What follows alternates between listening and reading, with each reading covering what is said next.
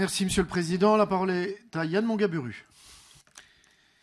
Merci, euh, Président. Nous avons euh, tous eu euh, l'occasion déjà la semaine dernière d'indiquer quelle était notre émoi face au rapport du Conseil d'orientation des infrastructures qui était publié la veille. Depuis, de nombreux parlementaires, certains siégeant dans cette Assemblée, certains hors de l'Assemblée, parlementaires du territoire, ont fait part de leur émoi, interpellé euh, la ministre en séance ou, en, dehors des séances. Et euh, je veux euh, chacun d'entre eux leur dire combien leur action est utile. J'espère que le silence de certains ne sera pas un silence assourdissant et maintenu dans les semaines à venir. L'État se doit de respecter ses engagements. Je le dis de la façon la plus claire puisque les engagements du précédent contrat de plan État-région ne sont en l'état pas tous respectés sur l'étoile ferroviaire grenobloise.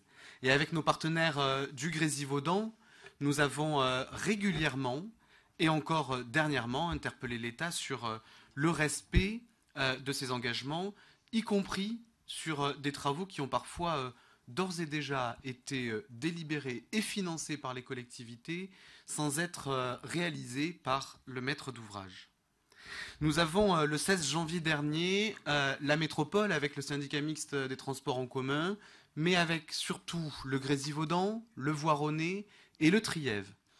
Euh, saisi la ministre Elisabeth Borne en charge des transports de ce qui était notre ambition dans le territoire, une ambition partagée. et ce, ce vœu fait référence à juste titre à ce courrier puisqu'il est euh, assez euh, inédit dans euh, le bassin comme dans d'autres bassins que l'ensemble des territoires concernés par le nœud ferroviaire grenoblois réussissent à saisir l'État avec un projet partagé pour à la fois garantir un RER e métropolitain à la grenobloise, mais aussi des liaisons longue distance sur l'ensemble du nœud ferroviaire grenoblois. C'est l'objet de notre saisine en date euh, du 16 janvier.